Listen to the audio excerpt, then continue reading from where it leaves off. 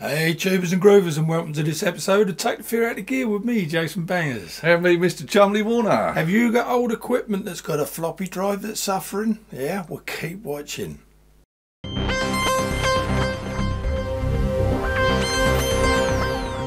As Joe said, if you got an old piece of equipment with a floppy disk drive in and it's say packed up, I suppose we should explain what sort of equipment we're talking, like uh, samplers, I guess. samplers, uh, any kind of keyboard, even like home organs. I think maybe your organ in the in the other room has got a. Uh, Yeah, has. Yeah, actually. yeah, yeah. That'd be cool to do that. Yeah. so there's there's lots of different things that need a uh, a solution for a broken floppy drive. So we're going to show you the Gotek floppy disk drive emulator, and this is part one. We show you how to take it apart and solder the header pins in Part one of part how many, Si? Of three parts. This is part one of part three. Watch and enjoy. Right, the first thing you need to do is uh, buy your Gotek emulator from eBay or wherever you want to. See they come in two colours, you've got black and you've got like a creamy grey colour. So depending on what you're putting it into, sampler, keyboard, etc. you can match the colour up with your original floppy drive. And the first thing you need to do before you think about any emulator software or anything like that is, if I just turn this round, we need to put some jumpers here so you can connect the programmer. All we need is three screws. I think we've got one here. It's the same for both emulators, they're just different colours. And I think we've got one more here. And then all you do is just lift off the cover. And all we're doing is putting some header pins into this row of uh, like little sockets there. First things first, the easiest thing to do is there's just a couple of uh, jumper leads there. So if you just carefully hold the display, they just pop off like that. And then you can just got a little LED sticking out through the front there. So if you just carefully give it a push and a wiggle, that will come out. Then you've got access to where you want to solder the header pins. These are little header pins, these ones here. They come in strips of various length and you can cut them to size. I think there's five on this one and literally all you do, there's actually six, so I'll have to cut it to size. You just drop them in the hole there and then turn it over and then solder them. Right, so you can see I've cut them to length and I've just, I haven't soldered them yet, I've just dropped them in the holes there. So you've got one, two, three, four, five, and there's two in front and then what we'll do is we'll flip the board over and we'll do the soldering. These are the back of the headers.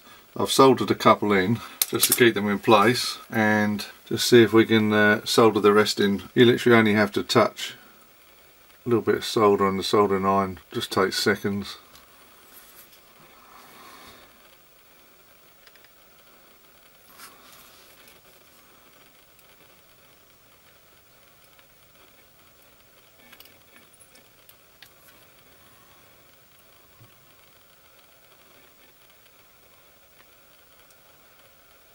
And that's all you have to do. Perfect. Right, just before we put the Gotek back together, so here's the pins we've just soldered in. One, two, three, four, five, and there's two in front. Uh, these two pins on the end, what we need to do is get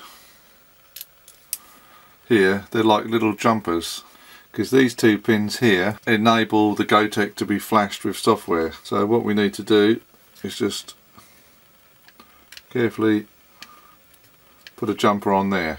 So that is now enabled for flashing. And then the next pin here is our transmit pin. The next pin there is our receive pin. We'll explain later, that's when you connect it to your uh, USB to serial interface. It will become clear. And at any point, if you want to reset the Gotek, these two pins on the end here,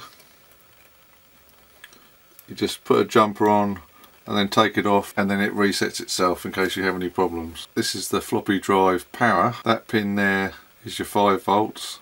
That pin there is your ground and that's just your standard floppy drive connector which you plug in once you've taken your old floppy drive out. So we'll put it back together. Right, we've got the board back in so when you're putting the board back in just make sure just poke your LED through the hole in the front there put your two connectors back onto your display and the board actually there's two little plastic lugs. There's that one there and that one there. And when you positioned it in place it just sort of clicks down into these plastic lugs there. Then you know everything's in position. Then just get your top of your Gotek drop your screws in and we'll just tighten them up.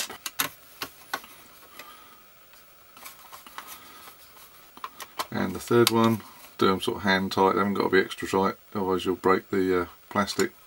There you go, if I turn that round,